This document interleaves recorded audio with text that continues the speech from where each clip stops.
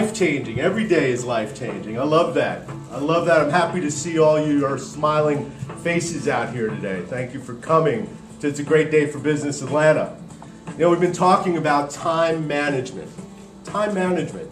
You know, what is it that we do in our time? And in my last talk, I talked about how do you know what you should be doing if you don't know what you have been doing?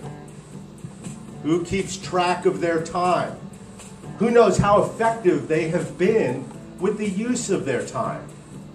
I keep track. I see where I've been effective. I see what's been a waste. And I recommended in my last talk about for a week, keep track of your time from when you wake up in the morning to when you go to bed. Every little thing that you do, what did you do? If you jumped on Facebook for 10 minutes, put it in there. If you read the paper for 20, put it in there. If you didn't do anything, put it in there. If you had client conversations, put it in there. Keep track of the time. That'll give you an indication of how successful you have been with your time management, what you need to weed out, and what you can do more of. What has been successful to lead you to even further success, and what you just need to get rid of. But you know, there's also personal time management. Know, we talk about business succeeding, but I think a lot of what we do comes around full circle. We need to be healthy. We need to find the time in the day for us. For us. You know, we're inundated every day with text messages, emails, TV, phone, driving all over, being in meetings, listening to a cacophony of sounds that really take away from us. But if we're not at our best peak performance, how can we achieve the success that we were all meant to have? So we have to carve out time for ourselves. We really do. And there are three points I want to talk about. Do you find time every day for reflection? Do you find time, that 10 minutes of time? Have you ever gone home and you sat down, you were going to ready to do something and it was quiet and you just stopped and you went, wow, this feels good. This is what I need right now. That refreshes, refreshes our mind, refreshes our soul, refreshes our spirit. We need that time to keep us healthy, to keep us moving forward on a track for success. Also, we need to educate ourselves every day. We need to grow our minds. We just can't stagnate. You know, we drive, how many people drive from meeting to meeting all over the metro Atlanta area? An hour a day? Some more? What a fantastic time to educate yourself. Most of the people, while you're driving along, you will see doing this. They're on their phone. Why not put a CD in? Why not put something motivational in? Why not put something in that you can learn from? An hour a day, 365 days a year, it's a lot of hours. That's a lot of hours and a lot of time to educate ourselves to get better at what we do. Because the more education we have, the more confidence we have. The better we are to serve our clients. And the last thing I want to talk about, oh, the last thing I want to talk about is exercising your body. Your body. Getting out there, doing something every day. You know, I have to, I, I, I, I carve out a minimum of 30 minutes every day, a minimum. We're all busy. We are all in meetings. We're all struggling to try to find the time to, for personal, for business. We're all trying to find that time, but we also have to find the time for us. And physical exercise is extremely important. You know, within five minutes of just going for a walk, you will start to feel the weight of the world come off your shoulders. The blood will start circulating through your body. Your mind will start to, to feel it. You will feel better. Those are three things that we have to take care of. in order for everything to work. Because you know, balance is important. Balance is difficult. I've been going through the past month and a half doing seminars, doing speaking engagements.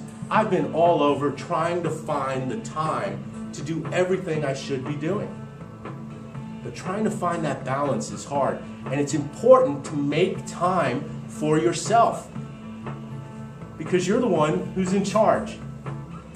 You're the one who's putting out there the information that you want to talk to your clients, to your friends, to the people you know, and you want to be successful in all components of your life. Well, if you're not healthy and you don't have that balance, it's going to be very difficult.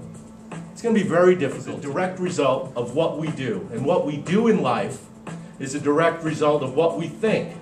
And what we think in life is a direct result of what we believe, and what we believe in life is a direct result of how we feel. And how we feel in life is a direct result of how we succeed in life. It comes full circle. It comes full circle. So, what does this have to do with time management today? Right? On what, what we do after we've met someone? What's the follow through? What's the theme of the show? The, the money is in the follow through. Well, we have to be healthy in mind, body, and spirit to succeed in our business and our personal lives. So, what do I do and how do I succeed when I talk to individuals? What is my follow through? Well, I'm just going to touch on it briefly. You know, it's great to have a conversation with someone who may be a client, who may be a gate opener for you, someone who will lead you to business. But after that meeting, what do you do? What do you do? You know, I like to I like to do a personal, get to know that person personally. Find out something that we may have in common. I think we all do that. Maybe a little fact finding, just enough to get information that will lead me to my next step, which is an email. Right? My email. It's the next step. Hey, it was great meeting you. And you know, you said something that intrigued me. Can you tell me a little bit about this? What have I just done? Creating a conversation. Creating a conversation. If they answer back, that's fine. And if they don't, guess what happens? That's fine too. You know why? Because now that gives me the opportunity to call. You know, I sent you an email. I just wanted to make sure it didn't go to spam. Sometimes that happens. You know, it's about the touches that we do in life, the little pings you know, once you get to know someone and you understand maybe some of the things that they do, some of their likes, their dislikes, maybe some of the things you have in common, what I'll do is I'll send an email if I find something of interest that I know that person likes. I'll send them an email. Hey, I saw this article. I thought maybe you'd be interested. Hope you're doing well. If they answer it, big deal. Doesn't matter. You're out, you are showing you have value. You're showing that you heard them. So many times, people don't listen, they just hear. And then they go on speaking about themselves. It's important to listen. And by doing that and giving that information, people are going to hear that. I'll tell you, I work with clients. I've met people over a year ago. Mrs. Mayo. Met her over a year ago. And I was helping her with some issues. And every couple of months, give her the phone. Hey, Mrs. Mayo, how you doing? Just want to let you know I was thinking about you in any way I can help you. Didn't hear anything. A couple months later, so they might call it a tickle file. All those little, those people who you had a great conversation with, they had a need, but maybe they just didn't want to do anything then. It's okay. Put them in a tickle file. Every couple of months, you come out, let them know you're still there. And it's not pushy. You're not doing anything. You're just sending it out there. She contacted me two weeks ago after a year of speaking with her. Just because you are ready to do something does not mean the person you are talking to is ready. We're always ready. Anyone in sales is always ready to sell right there and then. And it doesn't mean anything to that person. They have to be ready. Well, lastly, I just want to talk about, you know, the obstacle, the only obstacle that you face every day is the person you look at in the mirror. That person is the person who's going to tell you how your day is going to be. That person is either going to lead you to success or it's going to lead you to failure. I say you look at that person and say, hey, we're going to win this one. We're going to move on. We're going to do great today because it is going to be a great day. It's a great day for business in Atlanta. And my name is Louis Agudo. Thank you for having me here today. I appreciate your time.